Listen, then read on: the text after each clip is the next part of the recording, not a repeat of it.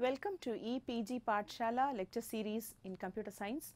This course is on operating systems. This module will learn what is meant by page replacement and what is the use of uh, page replacement algorithms and in particular in this module we learn first in first out page replacement algorithm and this problem of Belady's anomaly. In the previous module, we learnt what is meant by demand paging. That is, in demand paging, the pages are brought into memory only when the pages are needed. A particular process can have many number of pages, but all the pages need not be present in, a, in the memory at the same time. It is enough only the pages which are used currently to be kept in the memory. Say for example, if you have a process which has got n number of pages, it is not necessary to allocate n page frames or n physical frames in the physical memory. It is enough to have only a few number of pages or few number of page frames that are allocated to this particular process. Suppose you have a process with 10 pages and at a particular time if the process is using only half of the pages then it is enough to have only 5 page frames in the physical memory for that particular process and the remaining 5 pages need not be brought into the physical memory.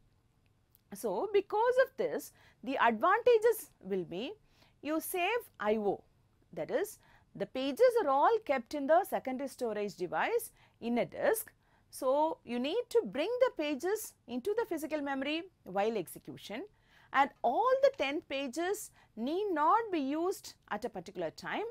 You need to use only 5 pages and it is enough if you bring only the 5 pages and the time required to move the other 5 pages also into the memory is now saved because you do not move the next 5 pages into the memory. And because of this what happens? The place or the space occupied by this process in the physical memory becomes less and hence there is more space in the physical memory to accommodate more other processes. And hence because of that the degree of multiprogramming is increased. What is meant by degree of multiprogramming? The number of processes that can be kept in the physical memory at a particular time is called degree of multiprogramming. Now, because this one process occupies less number of physical frames in the physical memory, the remaining space can be utilized by other processes. Suppose I take an example where you have 50 frames in the physical memory. Totally there are 50 physical frames or page frames in the physical memory and totally there are 10 number of processes say and each of these processes has got 10 pages say. So, totally if you need to bring all the processes into the physical memory then you need to have 10 into 10 you need to have 100 physical frames in the physical memory but for each of the process all the 10 pages may not be active at a particular time and hence if it is enough to give each process only 5 pages then you can accommodate all the 10 processes pages into the physical memory. That is see you give each process 5 pages totally there are 10 number of processes and hence all the 10 processes put together will need only 50 pages and you can accommodate you can accommodate all the processes in the physical memory. But now the disadvantage is that you go for over allocation that is the all the space in the physical memory is now fully occupied with the pages of all these processes. There is no free space at all. So, at some particular time if suddenly one process wants to bring in more number of pages or suddenly if one process is trying to access more number of pages then what happens? Say a process tries to use all the 10 pages. Now there are only 50 physical frames in the physical memory and uh, 50 uh, currently is being occupied by the pages of uh, different processes and one process now wants to increase. So, what happens? While you try to bring in the next 5 pages of this process, already 5 pages are allocated for this process. Now, it needs the other 5 pages as well and hence the 5 pages have to be brought into the main memory. What happens? A page fault occurs for the 5 pages. So, when page fault occurs for the 5 pages, you will try to bring in the 5 pages from the secondary storage device into the main memory, but there is no space in the main memory to bring in these 5 pages or there is no free frame in the physical memory to bring in these 5 pages. So, how do you solve this problem? One thing what can be done is that you can decrease the degree of multiprogramming. That is now currently you have accommodated the pages of 10 processes or if you try to reduce the number of processes that have been allocated memory, then you can get more space. So, rather than having the pages of 10 processes, you reduce the number of processes, maybe remove 2 processes. So, if you remove 2 processes, 5 plus 5, 10 pages will become free in the physical memory. So, there is one solution that is by reducing the degree of multiprogramming or by reducing the number of processes that are using the physical memory, you can avoid this problem, you can get more free frames. The second way to uh, overcome this problem is that or the second way to find out free frames or to bring in more free frames, you, you can go for page replacement. That is when you are trying to bring in a page from the secondary storage device into the main memory, what you do you try to pick up a victim frame from, here and bring it out and bring in the required page. Just shows an example of over allocation. You have two users, user 1 and user 2. User 1 has got 4 pages, user 2 also has got 4 pages. And this is the page table for user 1 and this is the page table for user 2. The physical memory has got the pages uh, H, load M, J, but this last page of this user 1 is not kept in the physical memory.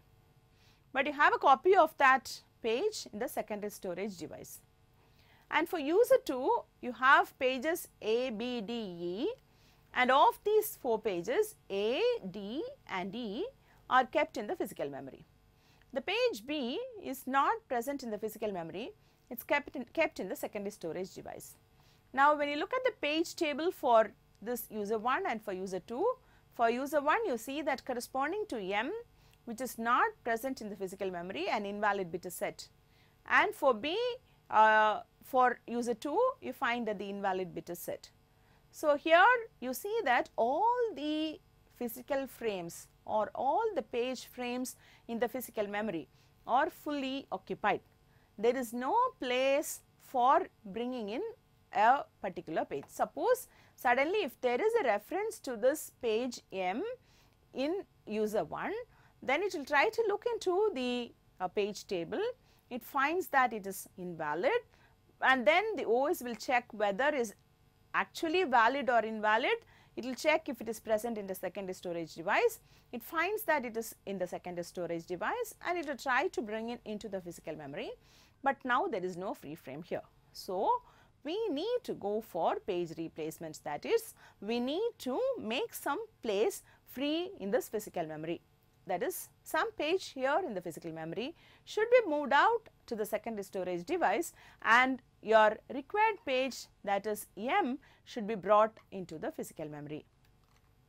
So, we will see what happens when this page replacement is done. So, earlier we learned how a page fault service routine is serviced and that service routine is modified to include page replacement. So, the steps that are involved in this page replacement is that you find the location of the desired page on the disk. So, in the earlier example we saw that page M has to be brought into the physical memory. So, first the operating system finds out where this page M is kept in the physical memory in the disk and then it will find a free frame in the physical memory. If there is a free frame it will use it, if there is no free frame it will use a page replacement algorithm to select a victim frame. So, once a victim frame is chosen, that victim uh, frame contents, the contents in the victim frame, that page should be written to the disk.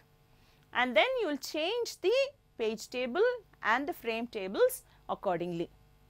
Then you will read the desired page that is say that page M in the example that we saw is copied or is read into the free frame that is newly freed. And then you update the page and the frame tables saying that this particular page has been brought into the memory and this frame is occupied by this particular page now which has been moved in and then you will restart the process. So, the service page service routine that we had seen earlier is slightly modified to accommodate this page replacement algorithm. But if there is no free frame then you find that two page transfers are required. That is you need to select one victim frame in the physical memory, move that out to the secondary storage device and then move in the one from the secondary storage device into the main memory. So, one should be moved out and one should move in. So, this will increase the time that is required for servicing the page fault and because of that the effective access time is also increased. So, to reduce this uh, moving out and moving in, we use something called a modify bit. Say you try to select one frame in the physical memory and you try to move it out and then move the required page. So, this page that is moved out or copied out to the swap device, if it has not been modified at all after having brought into the physical memory, then uh, what what's the point in copying this again back to the secondary storage device. There is no need for copying this to the secondary storage device because it has not been modified after having brought into the physical memory. So, this one copying out is reduced. So, for that to know whether this page has been modified or not, a bit is kept which is called the modify bit or the dirty bit.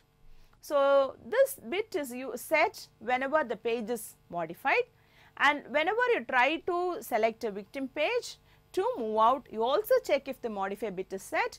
If the modify bit is set, only then it is modified. Only if the modify bit is set, you copy it or you swap it out.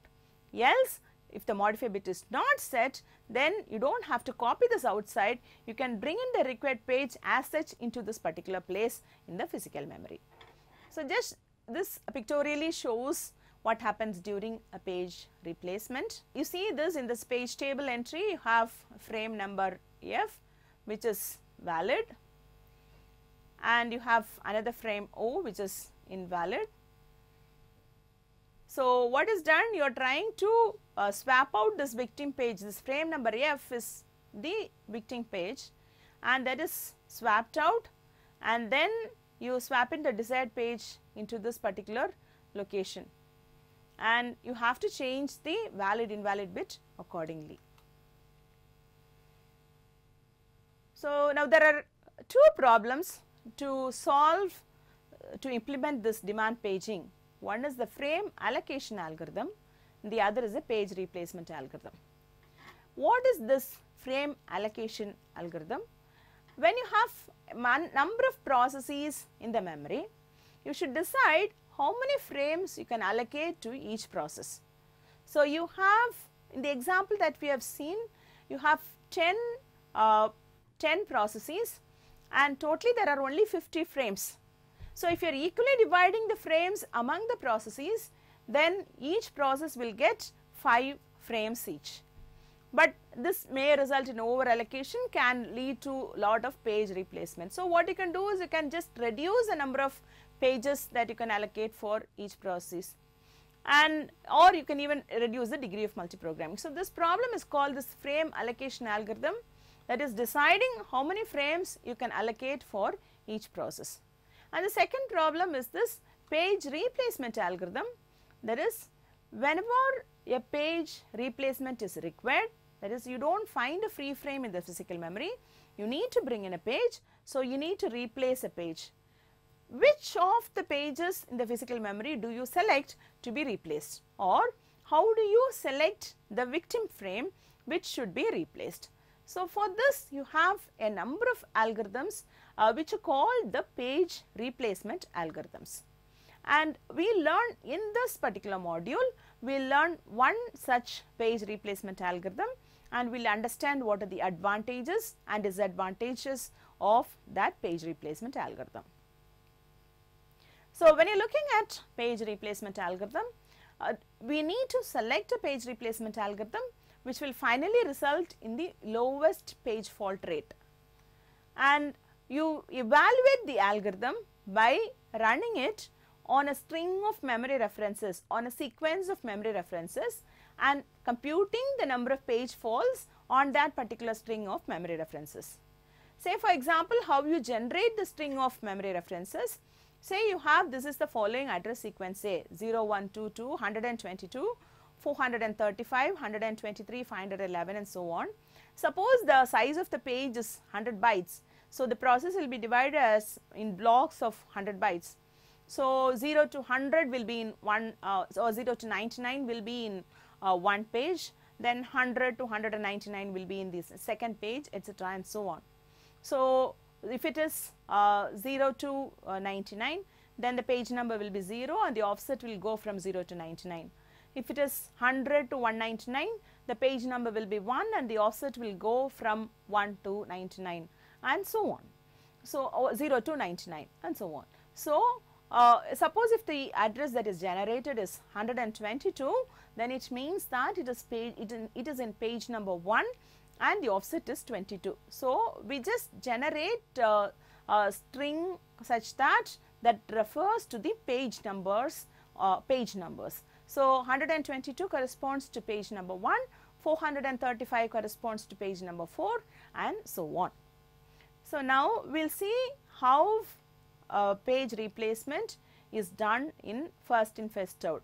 And before that uh, whenever uh, you are increasing the number of frames you expect the number of page faults to come down. So, this is a graph that shows the page faults versus the number of frames. So, when you have say a certain number of frames in the physical memory, say you have 10 number of frames in the physical memory that is being allocated, you will get a certain number of page faults. But now when you increase the number of page frames in the physical memory to say 15, then we expect the page faults to decrease because there is more space in the physical memory to accommodate more number of pages. So, this is what is expected generally. So, this is a graph that shows the general expectation of how the page fault should decrease when the number of frames is increased. So, we will now understand what this first in first out paging algorithm is. So, this first in first out page replacement algorithm is the simplest one that is uh, whichever uh, page was first brought into the main memory will be selected for replacement first or that will be the page that will be brought out of the main memory first. So, to understand or to remember or to know which page was first brought into the main memory, with each page a time is attached. So, whenever a page is brought into the memory, a time is also attached to that page at what time to know at what time it was brought into the memory. So, now when you are choosing a page for replacement among the number of pages that are present in the physical memory, you choose the one which has got the earliest time or the oldest page will be selected. This can also be implemented by using a first in first out queue. So, if you use a first in first out queue to hold all the pages in memory, the one which comes earlier will be in the head of the queue. Whenever a page arrives or it is brought into the memory, it is added to the tail of the queue. So, the one that is chosen for replacement will be the one at the head of the queue because those were the ones which came in earlier or those are the older pages. So, look at this example a reference string is shown 7012 etc and so on. This is the sequence of memory references that have been made. And we will see how FIFO page replacement is done for this particular memory reference string. And here we assume that there are only 3 frames in the physical memory. So, with 3 frames and with this memory reference string, how does FIFO page replacement work? So, initially it is assumed that all the 3 frames are empty. So, the first reference is to page 7 and page 7 is brought in because there is a free frame. And the next reference is to page 0. Page 0 is also brought in because there is another free frame. And the third reference is to page 1. There is a free frame here. So, 1 is brought inside and hence 1 is accommodated. Now, the next reference is to page 2, but you see that there is no page frame or there is no frame in the physical memory which is free. So, we need to choose one which has arrived or which had come in earlier and that has to be chosen for replacement. So, between this 7, 0 and 1 among 7, 0 and 1 we find that 7 was the one which came in first. Hence, 7 is removed and 2 is brought in or 7 is replaced with 2. Now, the next reference is to 0. But 0 you find that the page 0 is already present in the physical memory. Hence, there is no page fault you use that page as such. The next memory reference is to 3. 3 has to be brought in because 3 is not present in the physical memory. So, be, among between these 2, 0 and 1, you need to find out which one came the earliest. So, 0 was the one which came in earlier compared to 2 and 1 and hence 0 is removed and 3 is brought in. And next reference is for 0. Again between this 2, 3 and 1, 1 was the one which came earliest and hence 1 is removed and 0 is brought in. And then reference to 4, between 2, 3 and 0, 2 was the one which came in earliest. So, 2 is replaced by 4. And then for to bring in 2, 3 is removed and 2 is brought in. And then again 3, 3 is not available. So, you remove this 0 and bring in 3. And then you have a reference to 0. So, 4 was the earliest among between uh, 4, 2 and 3 and that is replaced by 0. And then you have 2 and then you have 3. 3 there is already it is already available here. So, there is no page fault for this 3 reference. For 2 reference again there is no page fault it is present in the physical memory and for reference 1 you need to replace 1 among 0, 2 and 3 and of these 3 pages 2 was the one which came in earlier. So, 2 is replaced with 1. So, you have 0, 1 and 3 and then you have a reference to page number 2. Page number 2 is not present here. So, there is no space you need to choose 1 for replacement, 3 is chosen and 2 is brought in. Then the next reference is to page 0. Page 0 is already available, so no page fault. The next reference is to page 1. Page 1 is already available, there is no page fault. Then 7 between 0, 1 and 2, 0 was the one that came in earliest and hence 0 is replaced with 7. Then again to bring in 0, 0 not available inside, so 1 is replaced with 0 and then again reference to 1 between 7, 0 and 2, 2 was the one that came in earliest that is replaced with 1. So, totally here you find that uh, the number of page faults is 15, there is 4, 6, 8, 10, 12, 14 and 15. So, totally 15 page faults occurred in this FIFO page replacement algorithm. So, but the performance of FIFO algorithm is not that very good. Uh, they look at the, if you look at the two extreme cases, one is there could have been an initiation, initialization module that was used long ago, but not used now. And hence we assume that we think that the page, in, page that came in first can be replaced. Because it came in earlier, it is not being used now, why not replace it? That was the argument that is going for first in first out algorithm. But the negative argument is that say if there is a variable that was initialized long ago, but it is still in use, then if you choose that page for replacement, then there will be a page fault immediately. So, so even if uh, that case, even if in that case, if you are removing a page that is constantly being used, that is continuously being in use, uh, even in that case it will only slow down the performance, it will not cause incorrect execution. But there is one problem with this first in first out algorithm. Generally, when you try to increase the number of frames allocated for a process, then your page fault should decrease, the number of page faults should decrease. But in the case of uh, first in first out algorithm, it does not happen that way.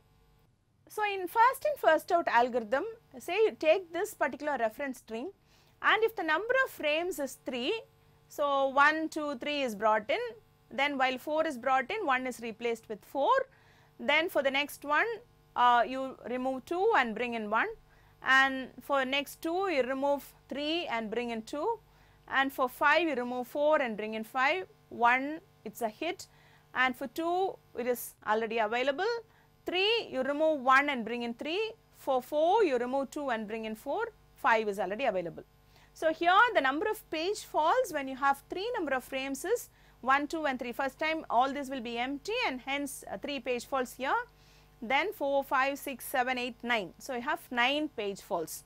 Suppose if you increase the uh, number of number of frames to 4. So, you have 4 frames now. So, this is how you bring in uh, uh bring in and replace the uh, replace the pages. Here you find that the number of page faults is 10. So, here you see that when the number of page frames is increased from 3 to 4, the number of page faults gets increased from 9 to 10.